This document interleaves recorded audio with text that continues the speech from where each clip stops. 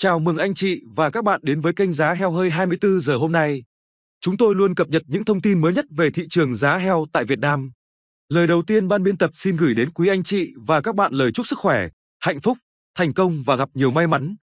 Nếu như đây là lần đầu tiên anh chị và các bạn đến với kênh này, thì rất mong anh chị và các bạn bấm vào nút đăng ký bên dưới để ủng hộ kênh và không bỏ lỡ những video mới nhất nhé. Sau đây là nội dung chi tiết. Giá heo hơi ngày 3 tháng 10 năm 2024 sau nhiều ngày điều chỉnh tăng giảm liên tiếp, hiện nay thị trường heo hơi đồng loạt giữ giá đi ngang trên toàn quốc. Theo khảo sát mới nhất, giá heo hơi tại ba miền hiện dao động trong khoảng 64.000 đến 69.000 đồng một kg. Giá heo hơi tại miền Bắc Tại khu vực miền Bắc, thị trường heo hơi không ghi nhận biến động, đa phần thương lái thu mua với mức giá ổn định khá cao. Hầu hết các địa phương duy trì mức giá giao dịch từ 68.000 đến 69.000 đồng một kg, chỉ có số ít mới có giá 70.000 đồng trên kg.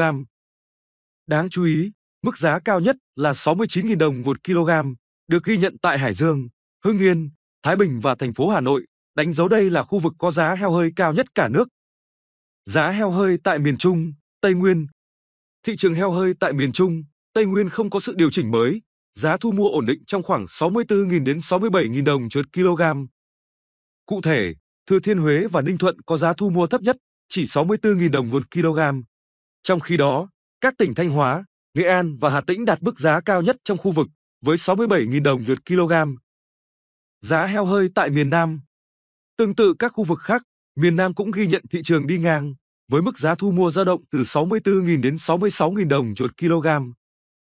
Bình Dương, Tây Ninh, Bà Rịa, Vũng Tàu và Đồng Tháp hiện giao dịch ở mức 66.000 đồng một kg là mức giá cao nhất trong khu vực này. Trung bình, giá heo hơi trên cả nước đạt mức 66.200 đồng một kg. Toàn cảnh thị trường cho thấy xu hướng ổn định dần trên toàn quốc. Ở thị trường Trung Quốc, giá heo hơi đang giảm xuống còn 62.200 đồng một kg. Qua khảo sát chung thị trường giá ba miền có phần giảm nhẹ, tuy nhiên đây vẫn là là mức giao dịch khá tốt, khả năng cao sắp tới sẽ bật tăng vì lễ Tết đang ngày càng cận kề. Sau đợt bão số 3 vừa qua, nhiều trang trại bị thiệt hại, một lượng heo rất lớn bị chết hoặc hộ nuôi phải bán tháo do chuồng trại ngập sâu trong nước lũ. Thế nên, nguồn cung bắt đầu khan hiếm, đẩy giá lên cao. Theo Bộ Nông nghiệp và Phát triển Nông thôn, bão số 3 đã gây ra thiệt hại ở mức rất lớn khiến hơn 21.000 con gia súc, 2,6 triệu con gia cầm bị chết. Đây là những con số thống kê ban đầu về số lượng, còn về giá trị thiệt hại là chưa thể tính toán hết được. Đáng chú ý, có những trang trại chăn nuôi bị ngập, làm chết hàng nghìn con heo, số khác phải bán chạy do chuồng trại bị hư hỏng. Đáng chú ý, thị trường miền Bắc hiện đang tồn tại một nghịch lý, chỗ bán rất rẻ, chỗ lại bán với giá rất đắt. Theo đó, ở những nơi bị ảnh hưởng bởi mưa lũ, nhiều hộ chăn nuôi chưa thể tái thiết lại chuồng trại nên phải bán tháo heo, chỉ khoảng 1,5 đến 2,5 triệu đồng con, tương đương bằng khoảng 1 phần 3 so với thị trường.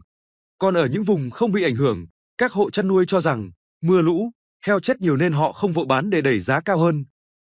Theo một số chuyên gia trong ngành chăn nuôi, giá heo hơi chững lại do áp lực từ nguồn heo nhập qua biên giới. Trong khi đó, lượng heo bán chạy dịch bệnh khi chưa đến lứa thu hoạch cũng làm cho giá heo hơi khó tăng lên được. Sau lũ, nguy cơ bùng phát dịch bệnh cũng rất lớn, trong đó dịch tả heo châu Phi là một trong những dịch bệnh nguy hiểm nhất có thể lây lan mạnh qua nguồn nước ô nhiễm. Ông Minh nhận định rằng trong thời gian ngắn tới, giá lợn chưa có khả năng tăng mạnh vì các trang trại vẫn phải bán chạy để hạn chế thiệt hại từ dịch bệnh. Nhưng từ đầu tháng 12 trở đi, giá lợn sẽ có xu hướng tăng rất cao do sự thiếu hụt nguồn cung. Bên cạnh đó, các biện pháp ứng dụng công nghệ cao không chỉ giúp tăng năng suất và chất lượng sản phẩm mà còn giúp ngành tiếp cận với xu hướng chăn nuôi hiện đại, đáp ứng các tiêu chuẩn an toàn sinh học và bảo vệ môi trường. Ngành chăn nuôi heo Việt Nam đang trên con đường khôi phục mạnh mẽ sau giai đoạn khó khăn do dịch bệnh và thiên tai. Để tăng cường phòng ngừa và kiểm soát dịch bệnh trên đàn heo, nhất là dịch tả heo châu Phi, Chi cục chăn nuôi, thú y tỉnh Đồng Nai đang triển khai các đợt tiêu độc, khử trùng ở các khu vực chợ và ổ dịch bệnh cũ có nguy cơ cao. Đồng thời, Chi cục đẩy mạnh kiểm soát việc mua bán, vận chuyển, nhất là nguồn heo con phục vụ cho nuôi heo thịt dịp Tết.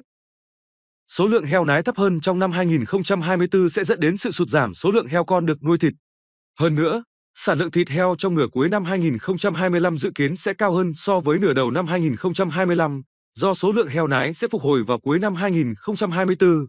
Sự gia tăng sản lượng này xuất phát từ phản ứng của các nhà chăn nuôi heo và các công ty lớn trước những đợt tăng giá heo gần đây. Tiêu thụ thịt heo giảm vào năm 2025 chủ yếu là do chế độ ăn thay đổi.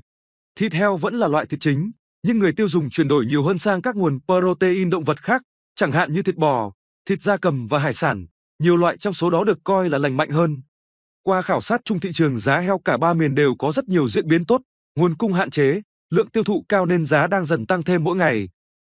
Hiện giá heo hơi bình quân cả nước đang ở mức 66.000 đồng một kg, vượt lên trên giá heo Trung Quốc 65.000 đồng một kg, trong khi vài tháng trước giá heo tại thị trường này còn cao hơn Việt Nam gần 10.000 đồng một kg. Do nguồn cung thiếu hụt, hiện tại đã xuất hiện tình trạng heo sống nhập qua biên giới vào các tỉnh Đông Nam Bộ. Bộ Nông nghiệp và Phát triển Nông thôn cũng đã có công văn yêu cầu chấn chỉnh tình trạng này. Bên cạnh đó, do nguồn cung heo con thiếu hụt để đáp ứng nhu cầu chăn nuôi heo thịt vào dịp Tết, một số địa phương đã xuất hiện tình trạng nhập lậu heo con từ Thái Lan về bán. Theo số liệu thống kê, các tỉnh miền Bắc có khoảng 22.514 con gia súc, hơn 3 triệu con gia cầm bị chết do bão lũ vừa qua. Nhiều chuồng trại bị hư hỏng, gây thiệt hại nghiêm trọng cả về cơ sở vật chất, ảnh hưởng đến nguồn cung thực phẩm trong thời gian tới. Trước tình hình đó, Bộ Nông nghiệp và Phát triển Nông thôn chỉ đạo các doanh nghiệp, hiệp hội ngành hàng cùng vào cuộc để hỗ trợ người dân con giống, thức ăn, vật tư, sớm phục hồi sản xuất và đáp ứng tối đa được nhu cầu thực phẩm. Theo Cục chăn nuôi, số lượng gia súc gia cầm bị thiệt hại do bão lũ vừa qua rất lớn và con số thiệt hại đang tăng từng ngày. Đối với đàn gà bị ngập thì cần loại bỏ những con ướt nhiễm bệnh. Những con giữ được nên thay đệm chuồng, tăng tốc độ gió để chuồng khô, cung cấp dinh dưỡng tăng sức đề kháng. Gia cầm có vòng đời ngắn nên hiện tại có đủ thời gian để chuẩn bị nguồn cung cho thời điểm cuối năm. Cơn bão số 3 và mưa lũ sau bão đã gây thiệt hại, ảnh hưởng rất lớn đến sản xuất nông nghiệp, đặc biệt là chăn nuôi và nuôi trồng thủy sản. Đây cũng là hai lĩnh vực có tăng trưởng cao nhất trong các lĩnh vực của ngành nông nghiệp.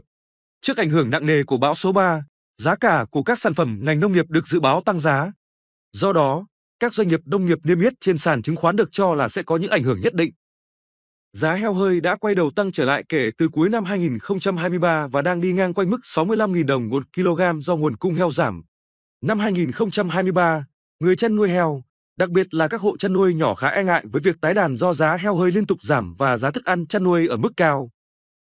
Bên cạnh đó, dịch tả heo châu Phi xuất hiện trở lại cũng ảnh hưởng phần nào đến tâm lý người chăn nuôi.